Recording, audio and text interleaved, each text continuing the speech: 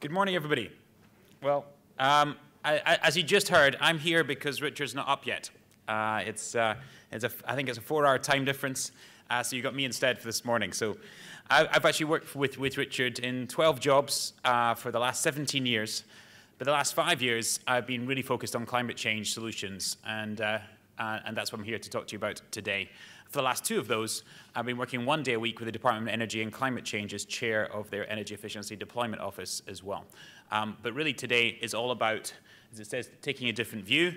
I suppose in, in, one, in one sense, I think all the entrepreneurs that are out in the room today, um, it's the same view that, um, society, that actually climate change is our greatest opportunity currently masked as a crisis, and anyone here that's working on the solution side of the ledger already sees this. And so I suppose my different view is, is we're a non-profit, a charity, uh, but absolutely focused on profit. Um, as, you'll see, as you'll see in a second. And so for you that are already working on the solution side of the ledger, it's about looking a bit global and looking gigaton scale. Um, and those that aren't yet, uh, hopefully we can chat about it. So in less than 20 minutes, uh, I, am going, I'm going to do a bit about the crisis itself, the crisis, the scale of the problem, and the pivot that we have to make as a world. Um, I want to spend a little bit of time on an entrepreneurial approach, as in Carbon War Room's approach on what we've been doing in a couple of projects. So I suppose I'm the, I suppose the content and the project side of, of, of, the, of the Richard interview. And obviously you can ask Richard all the whys and wherefores uh, when, when, you, when you see him uh, on the screen at 1.15, uh, 1.30. And then I want to close with an opportunity, uh, which I do believe it is, and hopefully there's something to do for every single person in this room. Um, so the first thing to make sure is, is, is, is, that we all know what crisis it is. One of our projects is in islands. Uh, somebody's just asking me, so you've been to Necker? Uh, and the answer is yes, indeed. Uh, uh not as, don't, don't, get nearly so much time as I should. Um, so many of you uh, that grew up on Scotland's east coast will recognize this coastline, um, or maybe not, uh, from your holiday brochures anyway. Um, but the island is actually a really good way of looking at the problem. You know, sort of, you know, are we really in a, in a state of problem? You know, the, the world looks okay. But actually, this, th this photo is taken around the corner of the same island. Um, and really, let's just sort of put to one side um, all the normal NGO stuff that you hear about uh, biodiversity loss, uh, environmental, social, all the other mega trends that you're saying that you know the world is, is not going to a great place right now. Let's just focus on, on, on, on pure economics um, and, and through the lens of islands for a second. Um, GDP hit. Um, uh, the Cook Islands, for instance, is not atypical. They use 39% of their GDP to import diesel in to generate power. Um, so it's a huge energy suck on, on, on their whole economy. On electricity prices, islands are typically 40 cents a kilowatt hour because of that reliance on imported diesel going into gensets. Um, 40 cents, 50 cents, sometimes over a dollar, when around here it's 10, 10 15 is the world average.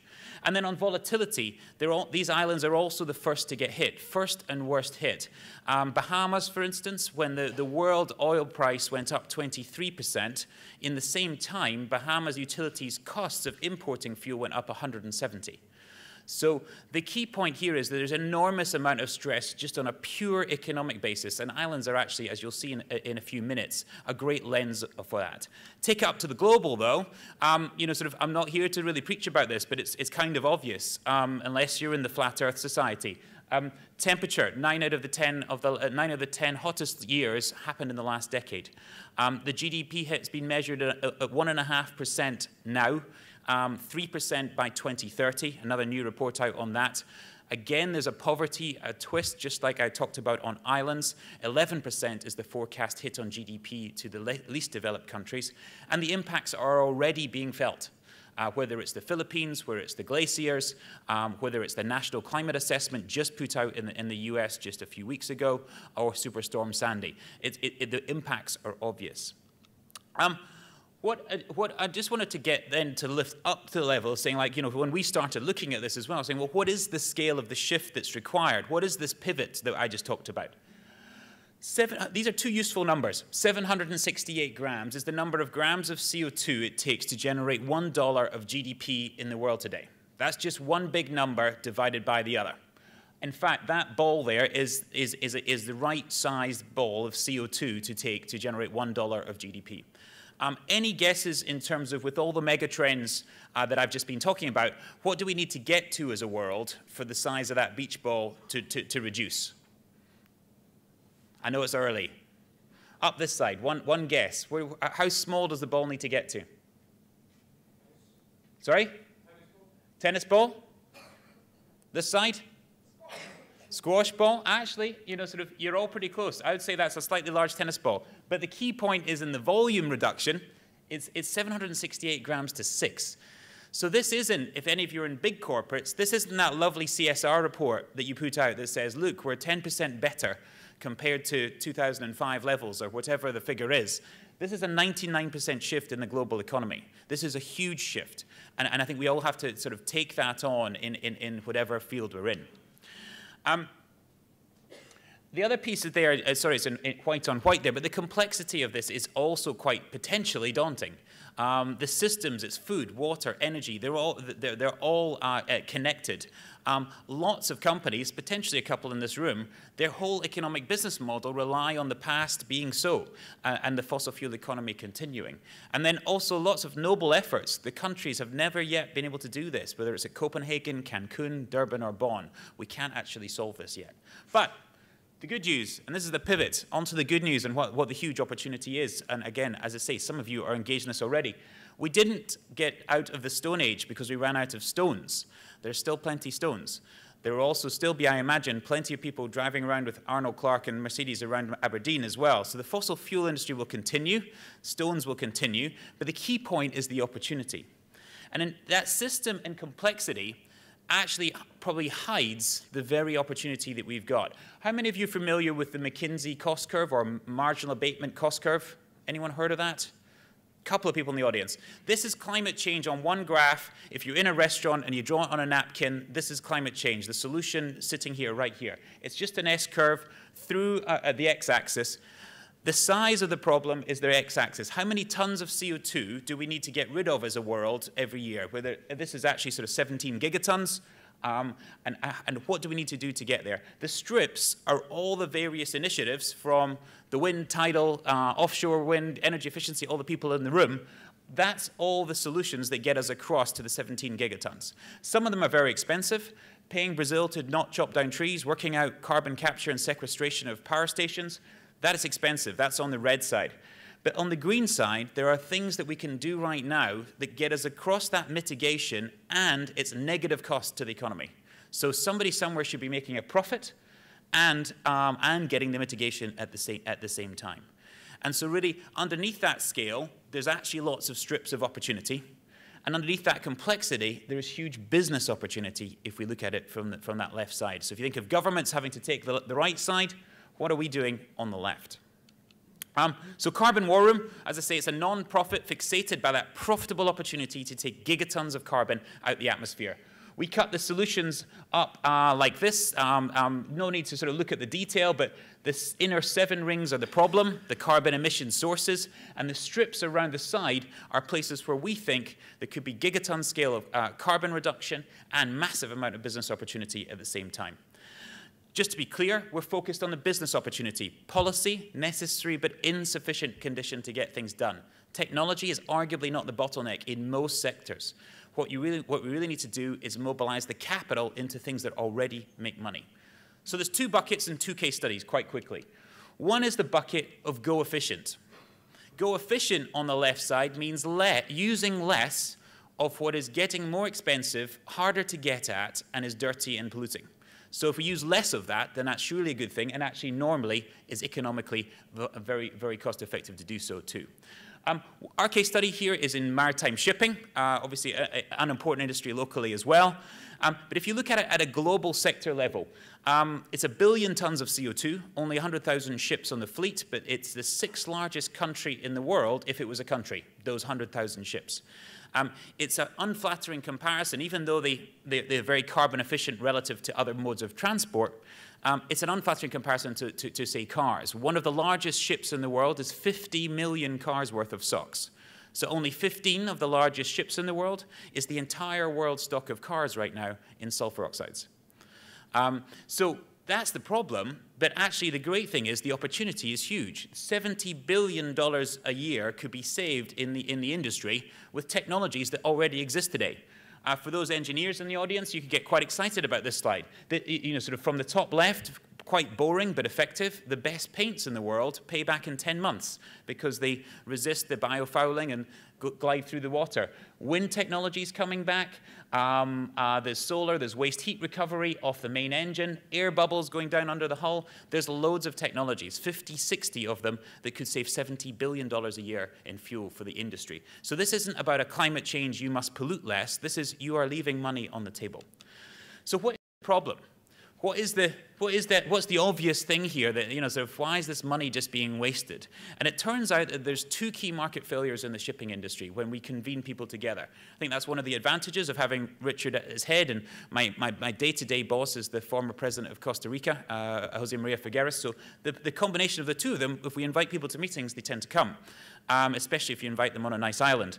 And, and, and, and the industry said uh, uh, in, in hotel rooms and, and, and conference rooms like this, there's two key market failures in shipping. One is poor information. It's hard to get to tell a clean ship from a dirty ship, whether you're on the demand side and you want to put your cargo on a clean ship, or you're on the supply side and you make a better ship than your competitors, um, but you can't tell that to the market that effectively. Second market failure is split incentives. It turns out that 70% of the fuel in the industry is paid for by the cargo owner, not by the ship owner. So why would I, as a ship owner, put all the bells and whistles on my ship if uh, somebody else gets the benefit and because of the first market failure, um, nobody can really tell anyway. So economically rational people are leaving $70 billion a year on the table. So what we then did as Carbon War Room, as the non-profit in the middle, is we try to create, as it says there, irreversible momentum to chase that money and actually do ourselves out of a, a job and a project in the medium term. The first one was solve for information. So a few years ago, we, we, we launched this thing called shippingefficiency.org. It is basically the A to G rating for every ship on the fleet. Much like you can go into John Lewis and you know how efficient the fridge is because there's a nice big colorful rating, why can't you go online, put the name of the ship in, and then get up the rating? That was launched a few years ago using data that was already available, an index that was already available on the, uh, in terms of a methodology from the IMO, and mash the two together and get it out there. It wasn't the perfect information at the time, it wasn't uh, the best, but it was the best available, and information in the sunlight will make a better market. So we launched that first. Then importantly, rather than try and change policy, go to the people whose pain this is. And so Cargill went out public in the, on the FT, that one is, um, a, a, year later, and said, we will not use Fs and Gs. And they've been since been joined by 26 other charterers saying we will factor A to G into our chartering decisions. So now there's an economic incentive as a ship owner.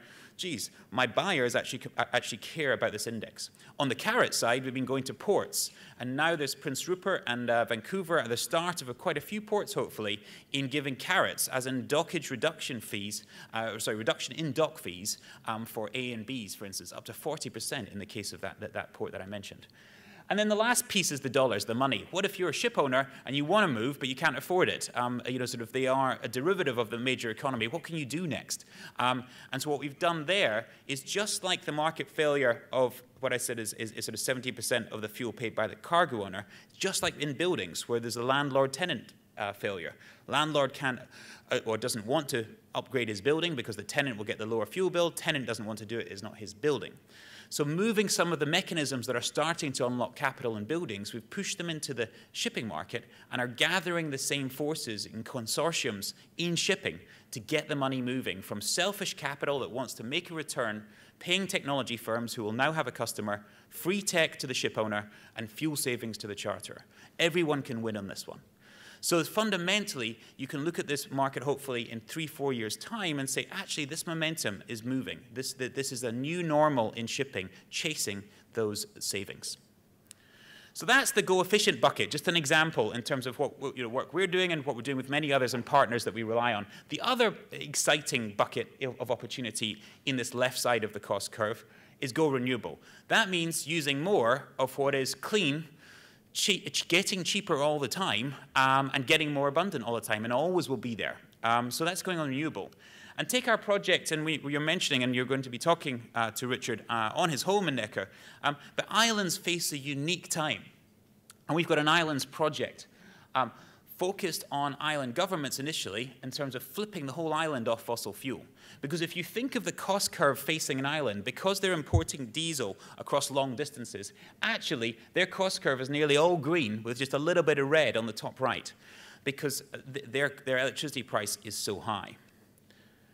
The second piece is the technologies are really ready to go. I mean, I was excited to read the delegate list in terms of some of the pieces that are out there now and can actually prove themselves on some of these islands, from marine wave, you know, sort of wave and tidal through to wind, solar. Some of these, some of these islands are in perfect spots for re renewable technologies, and meanwhile, very hard to get to from the point of view of a diesel infrastructure.